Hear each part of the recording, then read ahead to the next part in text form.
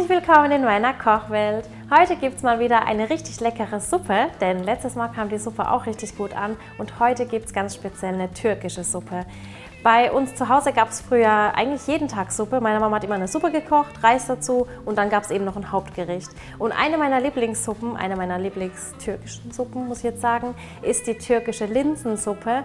Und die mache ich jetzt einfach etwas anders als meine Mama, denn sie hat immer ziemlich wenig Gemüse drin. Ich habe immer noch ein bisschen mehr Gemüse mit dabei. Und man muss dazu sagen, das ist jetzt kein ähm, Standardrezept. Also die Linsensuppe macht wirklich jeder anders. Die schmeckt auch in jeder Familie anders. Und das ist jetzt so die Version, Kombination, die wir zu Hause oder beziehungsweise die ich bei mir zu Hause mache und so schmeckt sie uns eben am besten. Und ich zeige euch jetzt einfach mal meine Zutaten. Ich habe hier 200 Gramm Linsen, also ungefähr so ein Glas voll. Die gibt es ja überall zu kaufen. Meine sind zwar jetzt von Backzeit, aber die gibt es wirklich überall. Dann habe ich hier Karotten, Zwiebeln und Kartoffeln und zwar jeweils etwa 150 Gramm, also geschält. Das sind jetzt etwa 180 Gramm jeweils. Dann brauchen wir gleich noch Zitronensaft. Ich benutze wahrscheinlich den Saft einer Zitrone. Ich brauche zwischen 1,5 bis 2 Liter Wasser. Dann brauche ich etwas Tomatenmark, Olivenöl und hier noch ein paar Gewürze. Ich habe jetzt hier Salz, Chili, Thymian, hier habe ich noch Minze und etwas Pfeffer. Und das war es eigentlich auch schon. Und dazu gibt es später bei uns einfach ein bisschen Fladebrot und dann noch ein Hauptgericht.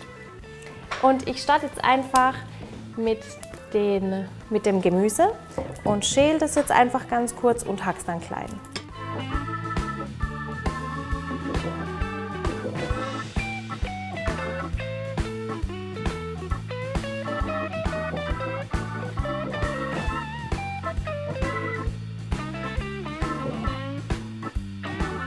Die Karotte sorgt in dem Gericht natürlich nicht nur für, die für den tolle Geschmack, sondern auch für die schöne Farbe.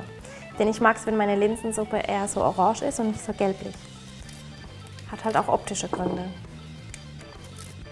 Mhm. Gell, Murat? Ich glaube, ich habe in unserer Familie tut man gar kein Ding rein, gar keine Karotten. Was dann? Keine Ahnung, ich weiß es nicht. Mir hat es eh nie geschmeckt, was meine Mutter gekocht hat. Dafür hast du mich geheiratet. Ja. Und die Kartoffel sorgt natürlich im Gericht einfach für die Konsistenz, dass die Suppe eben nicht so flüssig ist und einfach so ein bisschen sämig ist, dass sie gebunden wird durch die Kartoffelstärke. Ich finde, es gehört eigentlich zu jeder Mahlzeit eine Suppe. Finde ich eigentlich auch. So als Vorspeise. Genau, weil, weil das sättigt dann auch, finde ich. Und dann haust du eigentlich auch nicht den Wamp so voll bei der, bei der Hauptspeise. Also ich hau mir den Bauch eh nicht so voll. Ja, ich weiß es. Aber naja. Ich halbiere mir ähm, bzw. drittel die Kartoffeln jetzt so ein bisschen. Ich benutze nämlich gleich zum Schneiden einfach mein Schneidegerät, aber ihr könnt es auch einfach so jetzt ganz grob würfeln. So, mache einfach ganz kleine feine Würfel. Zuerst die Zwiebeln.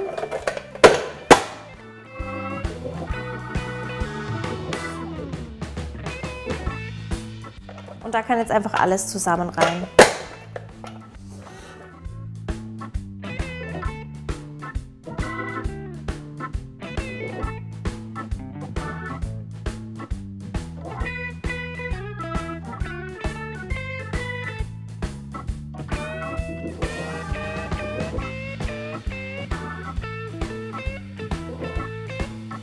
So sieht jetzt das Gemüse aus, also richtig schön fein gewürfelt, einfach alles zusammen.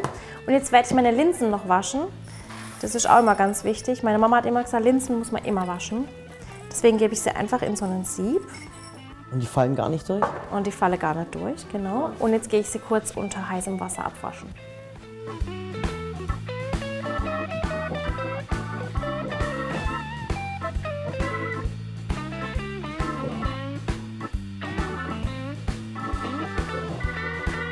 Und jetzt gebe ich die Linsen einfach in einen großen Topf. Nehmt da auch auf jeden Fall einen Topf, der groß genug ist. So. Und dann gebe ich da das Gemüse drauf. So, schön noch auskatzen. Und jetzt fülle ich das Ganze mit dem Wasser auf, aber ich nehme jetzt noch nicht das komplette Wasser, sondern erstmal nur eineinhalb Liter. Und später werden wir dann einfach sehen, ob ich noch ein bisschen mehr oder ein bisschen weniger brauche. Ups. Das rühre ich jetzt kurz durch, damit da einfach jetzt nichts am Topfboden klebt. Und dann gebe ich da einen Deckel drauf. Ich nehme jetzt einfach die Kochblume, damit das später nicht überkocht. Wenn ich jetzt nämlich einen Topfdeckel drauf gebe, bei Linsen passiert das ganz oft, dass sie zum Beispiel so ein bisschen aufschäume und dann kocht es über. Deswegen nehme ich die Kochblume, da passiert dann nichts.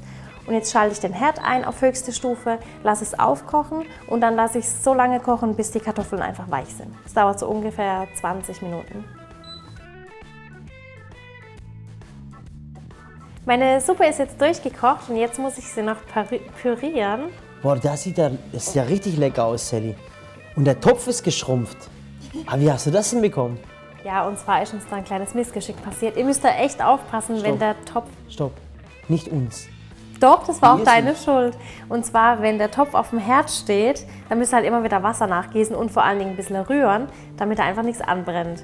Und bei mir ist einfach passiert, da ist halt der Topfbrot ein bisschen angebrannt. Deswegen habe ich jetzt die Suppe schnell umgefüllt, damit es am Geschmack nicht verändert. Mhm. Und jetzt machen wir halt ein bisschen weniger Suppe. Ist aber auch gut. Jetzt muss ich sie einmal kurz durchpürieren. Und es war deine Schuld, weil du so viel geredet hast.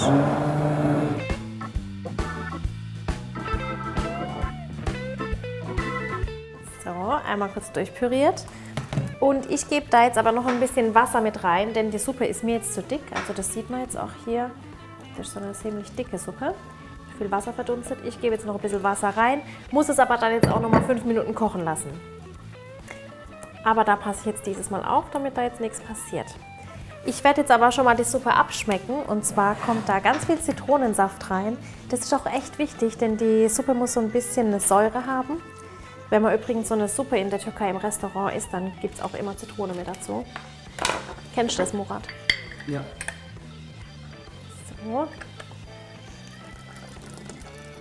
Einfach so viel wie ihr wollt. Erstmal nur die Hälfte und dann kann man ja immer noch äh, abschmecken. Und vor allen Dingen kann einfach jeder selber so viel Zitrone in seinen Teller geben, wie er möchte. So, und jetzt würze ich einfach noch mit meinen Gewürzen, also mit Salz, Pfeffer. Salz nehme ich jetzt einfach so einen Teelöffel. Dann frischen Pfeffer für den Geschmack. Dann noch etwas Chili. Bei mir kommt immer ein bisschen mehr rein. Wer übrigens zu Hause eine Kenwood hat, kann die Suppe übrigens super in dieser Kenwood machen, denn da brennt sie einfach nicht an, da habt ihr das Problem nicht. Ich habe sie jetzt natürlich hier im Topf gemacht für euch, damit ihr wisst, wie es auf den Topf geht. Aber normalerweise macht man die einfach in der Kenwood und dann rührt die ständig und da verdampft auch nicht so viel Wasser, weil der Deckel immer drauf ist und da passiert sowas nicht. Die Minze gebe ich jetzt nicht mit in die Suppe, denn die Minze kommt gleich oben drauf. Ich brauche jetzt aber noch ein bisschen Wasser. So, lass die jetzt hier kurz kochen, aber ich stelle es kurz auf die andere Herdplatte. Denn jetzt kommt das Besondere dieser Linsensuppe. Und zwar habe ich ja noch Olivenöl und Tomatenmark da. Und das wird jetzt einfach in den Topf erhitzt und so ein bisschen angebraten. Und das kommt dann später einfach so mit in den Teller rein. Und das ist so das Besondere, Aroma. was eben dieses türkische Gericht ausmacht. Ja.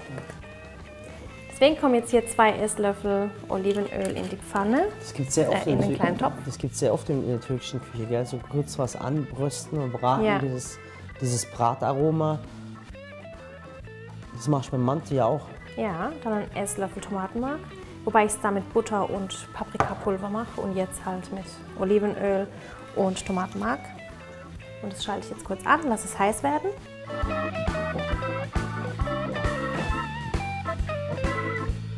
So, und jetzt kann ich hier noch die Pfefferminze mit hier reingeben, mit, zu den, mit zum Tomatenmark. Gerade so ein bisschen.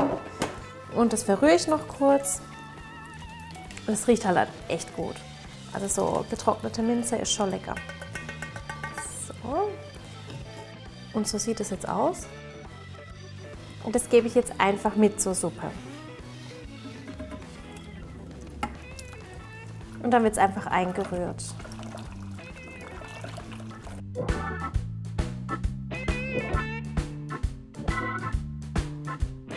Und da müsst ihr die Suppe einfach nur noch abschmecken und könnt sie dann direkt servieren.